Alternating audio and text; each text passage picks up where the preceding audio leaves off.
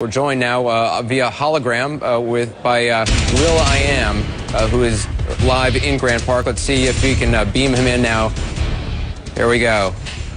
Will, thanks very much for being with us. Uh, how is this night for you? Oh, this is great. You know, we're at the eve of a brand new day in America, and it feels good being here in Chicago.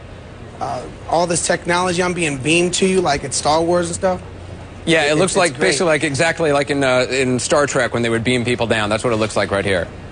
Yeah, but yeah, but this is it's a, it's a beautiful time here um, in Chicago. It's a beautiful time in Los Angeles. My mom texted me, telling me how proud she is of me, and um, you know, lending my career to inspire people to go out and vote and being the voice for young people. You We're know, I'm- doing I'm it- just real.